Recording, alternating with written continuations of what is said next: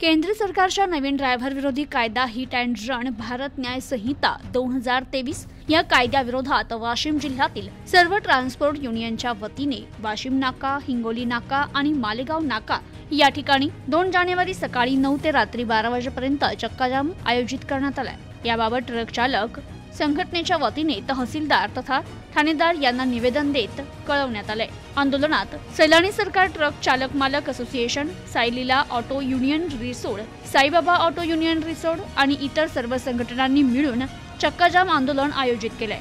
अकोला अमरावती हिंगोली परभणी नांदेड या ठिकाणी देखील हा चक्काजाम आंदोलन आयोजित करण्यात आलंय. तर संबंधित आंदोलन शांततेच्या मार्गाने केलं जाईल असंही निवेदनात नमूद करण्यात आलंय. यावेळी ट्रक असोसिएशनचे विविध संघटनेचे पदाधिकारी सदस्य ट्रक चालक मोठ्या संख्येनं उपस्थित होते. प्रतिनिधी Faiyaz Qureshi news today twenty four Risod Washim.